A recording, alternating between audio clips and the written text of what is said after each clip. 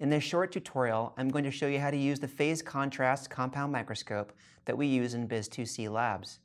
We use microscopes regularly in BIS 2C, but most intensively in labs 3, 6, and 7. In the first part of the video, I will break down the microscope and describe the function of each part.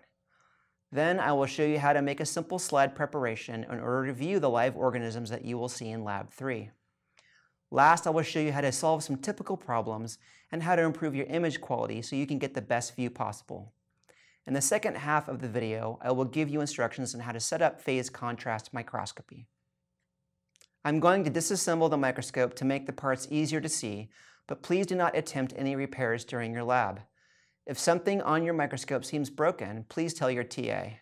The lens system on a microscope has two main parts, the oculars or eyepieces and the objectives.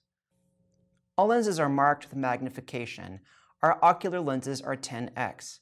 Objective lenses vary in power, and our microscopes typically have 5x, 10x, and 40x objectives. We calculate total magnification by multiplying the ocular lens magnification by the objective lens magnification. So if we are using a 10x objective lens, then we have 10 times 10 for 100x.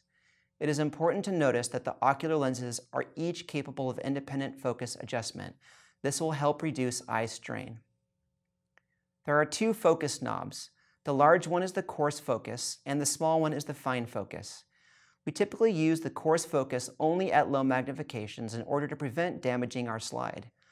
You can see that the coarse focus moves the stage up and down visibly, but the fine focus makes much smaller adjustments. Next to the focus knobs, we have a power control switch and a knob that controls light intensity. On top of the stage is the stage clip, which is used to secure the slide. The stage movement is controlled by knobs on the right side.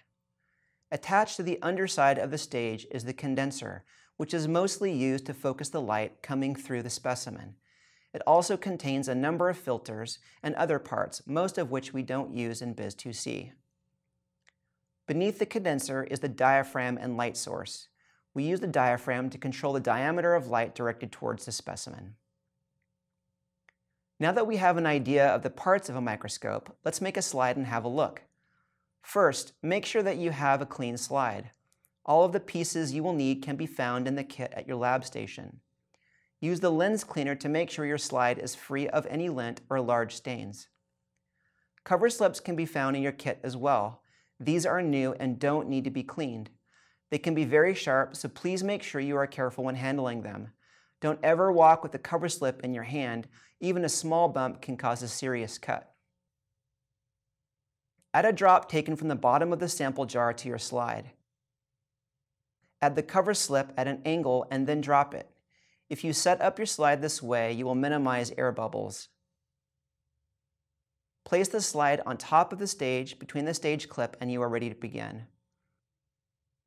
Make sure your objective is set on the lowest power and that the filter wheel is set to zero, which stands for bright field. You should also move the condenser down about half a turn to prevent bumping against the slide. Using the stage adjustment knobs, position the slide so that the edge of the cover slip runs down the middle of the lens. You will want to focus on the cover slip edge first, as this will make the organisms easier to find. Once the edge of the cover slip is in clear focus, close your right eye and try to get the cover slip into as clear focus as possible using the fine focus knob. Next, close your left eye and try to improve the focus using the adjustment on the ocular lens only. Use the stage adjustment knob to locate the organisms in your sample and focus as necessary. Compound microscopes produce a very flat image. To improve on this and add contrast, you can move the condenser lower and adjust the intensity of light. It is easy to get lost when looking at fast-moving organisms, so be sure to use Protoslo, and when you do get lost, just refocus on the edge of the cover slip. Phase contrast microscopy allows us to view transparent specimens by increasing contrast and depth of field. In order to produce the best image possible, we need to align the phase contrast rings. To do this, we first change the filter on the condenser to Ph1. Next, we change the objective lens to 10x. Once the objective lens and filter have been set, remove the right eyepiece. Insert the phase contrast telescope where the right eyepiece is normally placed. We use the phase contrast telescope to help us visualize our alignment. If you look through the phase contrast telescope, you should see two rings. One is white and the other is black. Use the phase contrast adjustment screws to position the white ring directly above the black ring. This takes some practice, so work patiently and carefully. If you have any questions, please ask your TA.